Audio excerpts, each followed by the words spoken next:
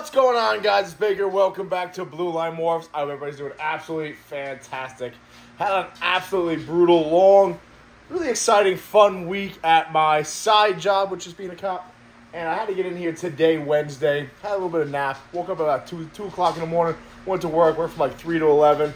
Took a nice little nap. Then I got to get in here, go through some things, weigh some snakes, do some water swaps, some spot cleaning, so forth and so on. So this video is actually for a couple hours from now, so I'm running a little bit late, but gotta get that content out, gotta keep everybody updated, and that motivates me to keep doing more. I don't know what to tell you. With that being said, I walked in here and it smelled like death. So I got the window open right there. Of course, my ding dong. I spoke about her. That's not my ding dong.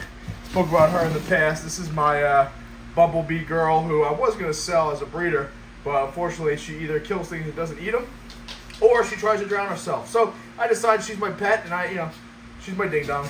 She's my ding dong. Really bad wobble, but you know what? She actually eats pretty well when she does eat, and she actually breeds really well too. Gives out like eight or nine eggs. But I'm never probably gonna breed her. She's just a pet. That being said, she stuck up the whole room, which kind of sucks. I spent the next four hours in here. All good though. But listen, guys, I want to get into a couple things. We had some huge, monstrous news here at Blue Line Morphs this week. I mean, huge. Two massive pairings I've been looking forward to happening. Uh, more importantly, though, we'll talk about that in a little bit. What I do want to talk about is my game plan going forward with these young males. What I'm going to do if they don't get their shit together, right, guys? I think it's something I, I have to be uh, cognizant of and something I have to prepare for. Now, I've always been told that you have to have a backup male, and this is kind of one of those reasons why. Uh, long story short, guys, if you remember, I did a video a couple weeks ago kind of talking about how is my, se- is my season screwed because I'm utilizing, I'm using, Diesel, cut it out. And I'm using so many young males this year. I.e., I got this boy right here who just hit a year old. Happy birthday, bud.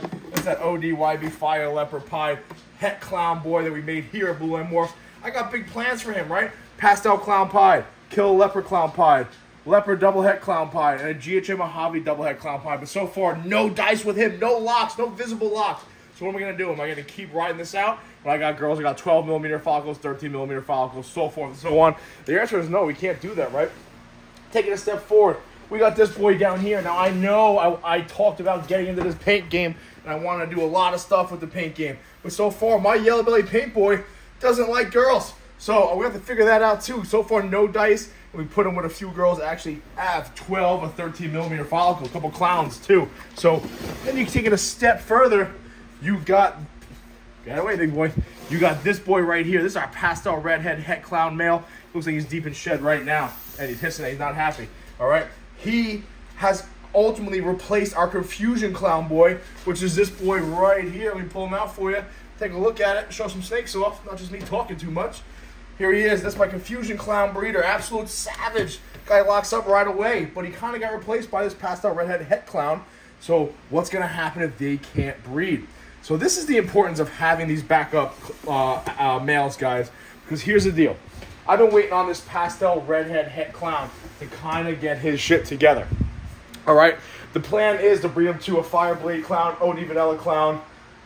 What else do I got? I forgot. Uh, Sterling Lesser clown, a couple other clowns down below there. And unfortunately, when I did, or fortunately, I did ultrasound these girls, a lot of them are starting to produce follicles. So he's got to get his shit together. And same thing with the ODYB Fire Leopard Pie Boy and that paint Yellow Belly Paint Boy. So what happens if they can't get their shit together? We're gonna waste these females? I don't intend to. That is for sure. Especially these more mature females. It's not like if some of these girls are 18 months old, two years old, and they're growing follicles.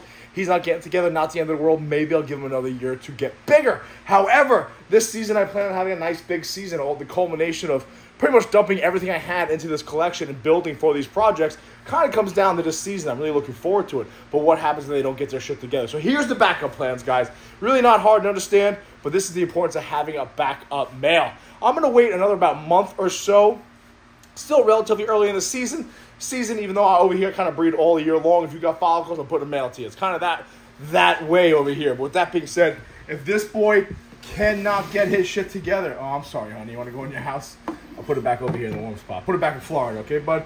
If he does not get his shit together, all right, what am I going to do? Am I going to just let this pastel clown pie, kill leopard clown pie, leopard double het, and GH Mojave double het go to shit? Nah, we got this boy right here who's locking for us. Back up, back up so everybody can see you.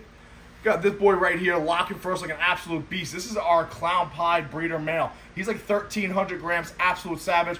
He's locked for a super enchi double het, yellow enchi double het, normal double het, and our yellow belly yellow belly fire leopard double het. So worst case scenario, if he cannot get locked up in the next couple weeks, guys, then we're just gonna have to utilize him. Maybe not put him to like the pastel clown pod or kill leopard clown pod, because maybe I just want to utilize them and make double hats or triple hats or something else, but rather maybe definitely put him to the leopard double het Mojave GHA Mojave double het. So that is the plan right now, guys. Not the end of the world there. Obviously, I'd like to utilize him with all those genetics and put him back to all these animals with those other genetics. So, take a step forward. What if our pastel redhead het clown can't get his shit together? Long story short, guys, we're actually in really good shape. And if you're kind of I mean, it's, not, really not hard to understand what we're going to do, right? Who we're going to utilize. It's real simple. We're going to go back to this boy right here, guys. I love Confusion, Acid Static, all them. Huge shout out to Joe from Empire State Exotics for hooking me up with this boy. So if the pastel redhead het boy can't get his shit together, we're to utilize our Confusion clown boy and give that guy another year or possibly pick up a redhead clown actual visual. I'm hoping he gets his shit together. We'll talk about that in a second. But worst case scenario, you better not because then we're really screwed. We got to go to our pastel leopard etchy clown if you do that.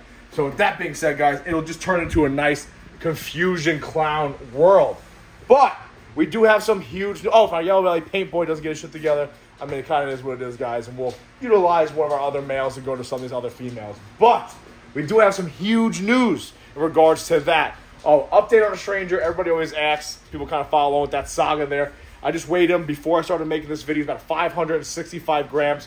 He hasn't eaten in about three or four weeks. Not the end of the world, guys, because he is breeding, right? He's going to four girls now. And as you can see, these four girls are bull wrapping. High OD, Yellow Fire, Clown, OD Fire, and she Clown. Everybody's on the cool side, guys. Even our homemade girl right here, who's deep in shed. They're all cool seeking. Um, so we're in very good shape when it comes to them. And even this girl right here, she's she's growing her follicles out. She's the, the smallest follicles of the crew. But he's at 565 grams, guys. So two of those girls, that's 26 millimeter follicles. We're gonna check them in about another week and a half to see where they're at. they're up over that 30 millimeter follicle mark. We'll throw the Stranger Boy back to them for one more lock each, and they should be done. With that being said, we're gonna let the Stranger Boy kind of relax and chill out. As long as he maintains about 540, 530 grams, we're gonna put probably put him to another pod Girl and make some nice double hets. We'll see what happens with that. But huge news, guys! Absolutely huge news. This girl right here, I was a little interested to see if she would go this year. This is our Gotham girl. Remember we picked up in that collection from my boy Aaron right here over in PA.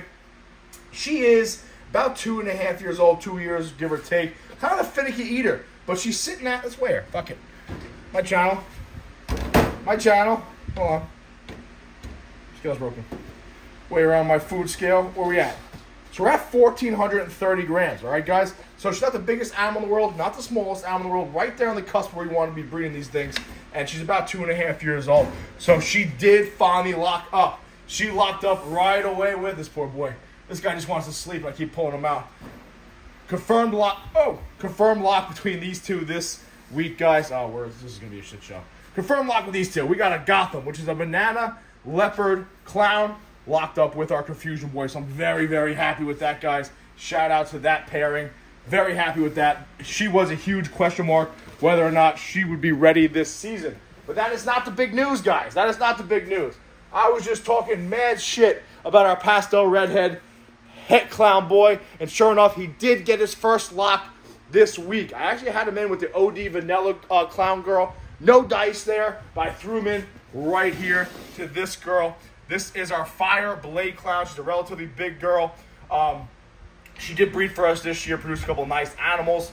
Uh, but they locked up. They stayed locked for about 24 hours. So I'm very, very, very happy about that. I'm really hoping, fingers crossed, that that means our pastel redhead het clown boy will get his shit together. I can put him through about four or five girls this season. He's big. He's about 900 grams, about 1,000 grams, eats like a beast. He's in shed, so we'll give him this week off. But that is huge, epic news for us guys, okay? Because we're relying heavily on him in a crown pro- clown projects. Wanted to have a nice stranger redhead clown but it, uh, year, but it wouldn't have been that. Be- not making those this year. It would be nice to have a stranger slash redhead clown season for me over here at Blue Line Morphs.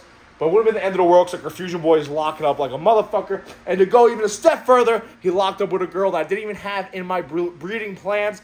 This season I had a big question mark next to her name. Um, so we're gonna have to ultrasound her, see where she was at. Last I checked, like seven or eight millimeter follicles.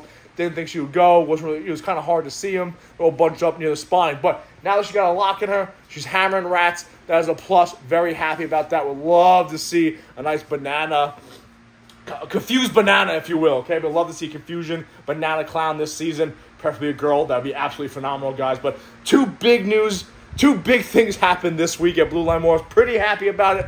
Stoked about it. In fact, so we're gonna get to we're gonna get going over here at Blue Line Morphs, guys. We're gonna spot clean, get that radio. We'll get to messing here. We're gonna get the, the TV on, catch up on some of our social medias, catch up with Shane Smalltown, Gomez, everybody else, and we're going to be in here for the next four hours. I love it. That being said, guys, I hope you love the hobby as much as I do. Shout out to everybody, and thank you for everybody that watched our video uh, last Saturday, kind of just talking about keeping this thing as a hobby. Nice to make money, but at the end of the day, this is my hobby now, guys. Long week at work, lots of overtime, but at the end of the day, I get to come hang out with my two best friends here. Where's it? Hang out with my two best friends right here and hang out my facility, my man cave. So I love this hobby, guys. I love you guys for following me along this journey. Huge shout out to my redhead boy Hopefully, keeps this show on the road. Uh, but as always, guys, I appreciate you guys. Be safe. Watch the six.